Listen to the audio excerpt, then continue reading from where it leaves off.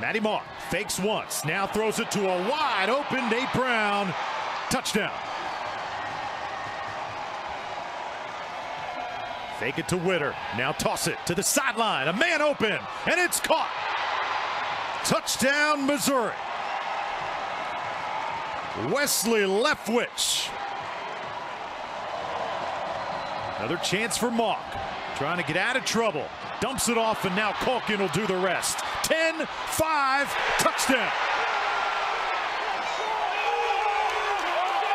Lined up wing to the left side. Witter, the running back, moving to the right to the bounty on option. Mauk scores. He takes it to the house, and Missouri takes its first lead. First and goal. Lock pulls it back, looking for the screen, fires, touchdown! Tigers, Nate Brown.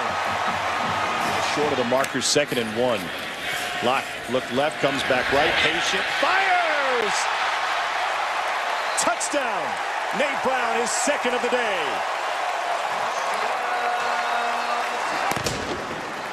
It might just be a new sheriff in town. Lock dropped the snap, got it to Witter, and he's still able to barrel his way in. Touchdown Tigers. They won pretty. The Witter's got his first touchdown of the season. Three receivers split wide to the right side. Takes a high snap, running right is Hansbrough. Cuts it upfield to the 10. Weasel away right side. Get in. Yeah. To the house. Missouri.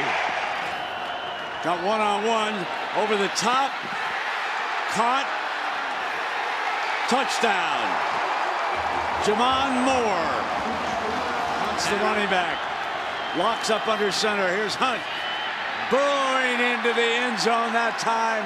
Still no signal from the line judge.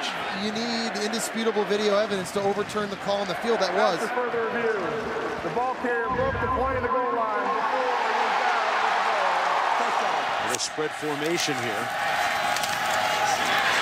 Rock keeps it. Did he get in?